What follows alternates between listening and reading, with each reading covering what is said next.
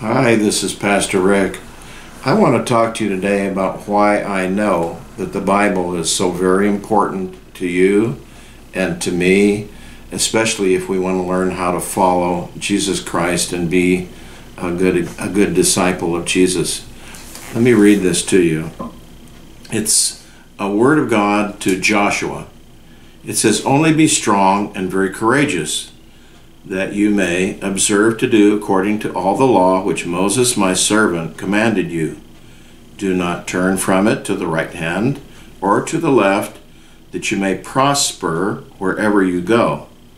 This book of the law shall not depart from your mouth, but you shall meditate in it day and night, that you may observe to do according to all that is written in it. For then you will make your way prosperous, and then you will have good success.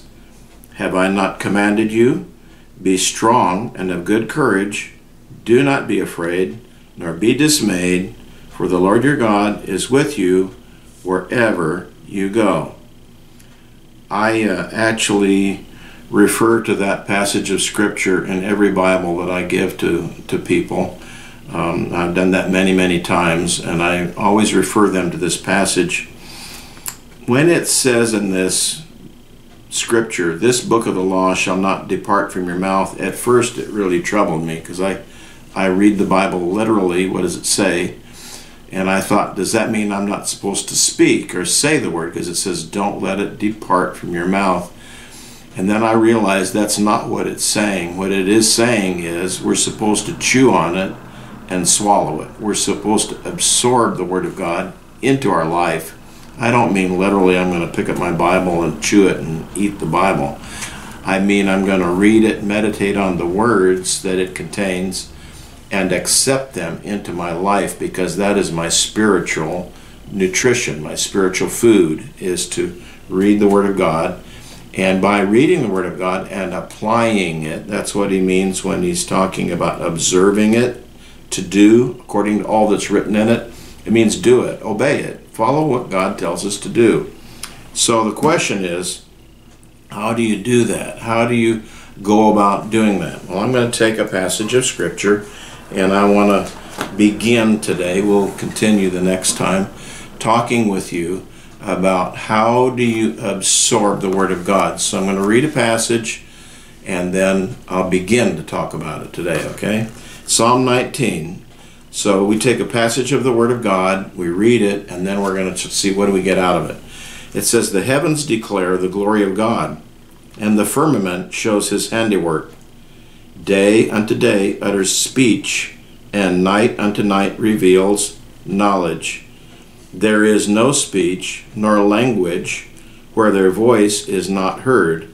Their line has gone throughout throughout all the earth, and their words to the end of the world.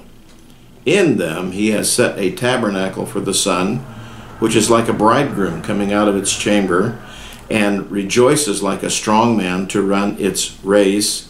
Its rising is from one end of heaven, and its circuit to the other, and there is nothing hidden from its heat.